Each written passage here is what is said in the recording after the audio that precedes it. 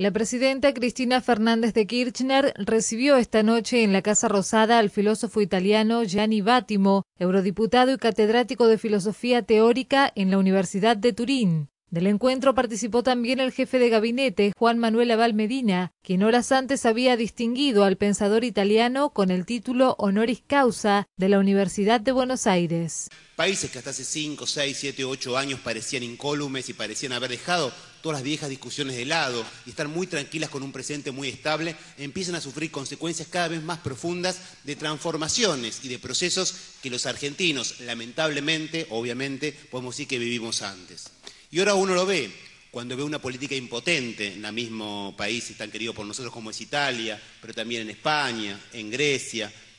Chipre. Estamos hablando de una política que a veces cada vez volverse cada vez más impotente frente a las regulaciones de un mercado que con esta idea de su autorregulación parece ser capaz de ahogar y hacer absolutamente ineficaz el mismo funcionamiento de la política.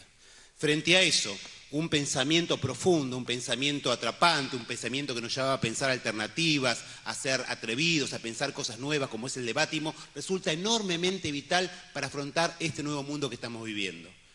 Y no les voy a mentir, también nos da muchísimo orgullo que desde un lugar tan central del mundo se esté viendo América Latina con esos ojos esperanzadores e interesantes que lo hace el profesor.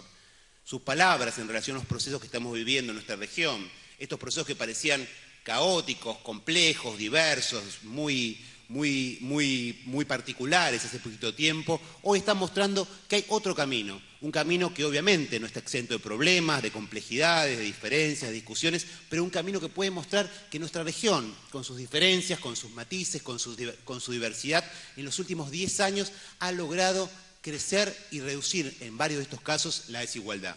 Porque lo interesante del pensamiento, por lo menos para mí, de Bátimo y lo que él representa, es que en un mundo tan complejo no pierde la idea de pensar por los débiles, de ese pensamiento débil al pensamiento de los débiles, el pensamiento que requiere pensar para trabajar por una sociedad más igualitaria. Y no renunciar más allá de ese mercado que parece omnipresente en los países europeos, más allá de esas palabras duras de algunos grandes bancos o comisiones que parecen querer castigar brutalmente a países por la idea de pensar algo distinto, más allá de todo eso, la necesidad de seguir pensando en esas viejas históricas tradiciones políticas que nos hablan de la posibilidad de construir una sociedad más igualitaria. Todo ese pensamiento que de alguna manera también refleja la obra de Bátimo y esa tradición propia de la izquierda italiana, pero también en conjunto europea, que durante tanto tiempo nosotros acá miramos y estudiamos, hoy de alguna manera podemos reencontrarla y aportar desde nuestro lugar en el mundo algo a esa discusión. Una discusión enormemente importante, una discusión enormemente interesante y ya casi hablando como en mi condición de politólogo, de cientista político,